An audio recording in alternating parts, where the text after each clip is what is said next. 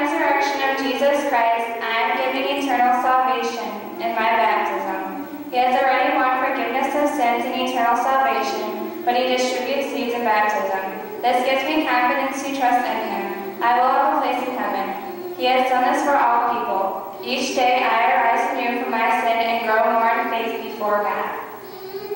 May the words of the Holy Trinity spoken at baptism, I receive the faith I need to be eternally saved. God has given me his unconditional love, and no matter what, he will save me because of my baptism. I will always know of Christ's love for me, even when I have a hard time in life.